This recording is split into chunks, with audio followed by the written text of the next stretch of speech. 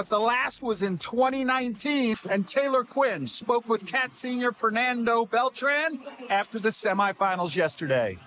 Last year wasn't exactly the finish you wanted, placing second. How did that propel you into this year?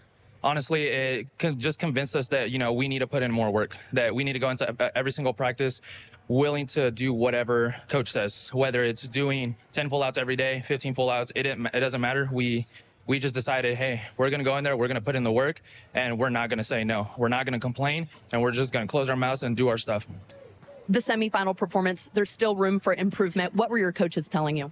You know, there's always room for improvement, you know, whether it's semifinals or finals. Um, today it's just it's the little things, you know. The timing wasn't perfect. Uh, of course, we had a mistake, but that's not something that we we can go back and just redo. But we're gonna go and try to fix it. Just uh, work out the little kinks, figure out what happened, watch that video, try to prevent it as much as possible, and just do our normal job. You know, we've done that a million times, and we can do it one more time.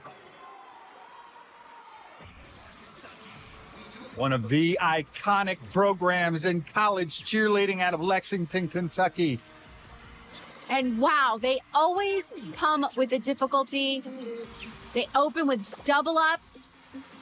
Certainly a step up from what we've seen in the past. Yeah, standing fulls. They always will try to max out the difficulty. But this year, they have taken a more conservative approach to really make sure they perform a solid routine. They had a little bit of a issue there on the left but so far, a strong start. I tell you, looking at all of the SEC teams, there's just a level of confidence when they're out there on the floor. And I think part of that is constantly being in front of massive crowds. Wow. And those full twisting rewinds to 111s, we've never seen that perform before here at the championship. And they nailed it.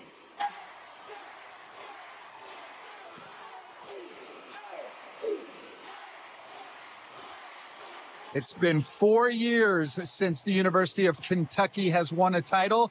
Last time was 2019.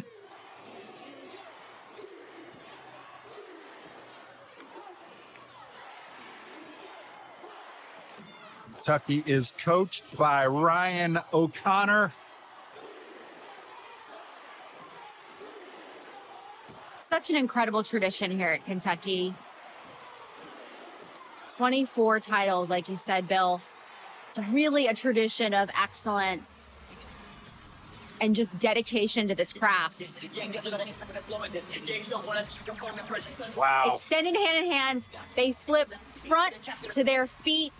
It's a blind landing, makes it a lot harder. Yeah, a little trouble there on the right side of the mat pull up stretches, and there's nine of them. So it's not just the difficulty that we're seeing here, it's how many skills they have up in the air and how many of them are unassisted. Beautiful. Wow. The height on those double full baskets, the highest we've seen so far.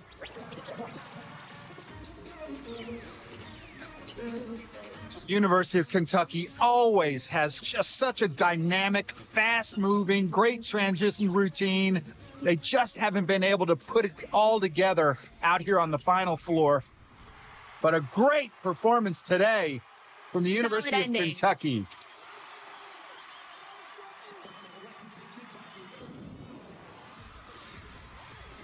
In these opening double ups, they have to spin so much faster to make two full rotations. That's difficulty we just don't see on other teams. And these beautiful double full basket tosses, you have to get them so high to really complete the entire skill. And